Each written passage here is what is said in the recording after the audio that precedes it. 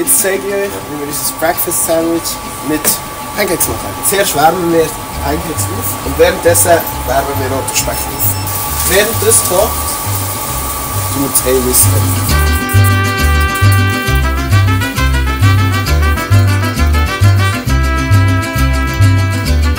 Also zuerst tun wir Käse drauf, dann tun wir noch die Rautenschinken drauf. Jetzt kommt der Speck.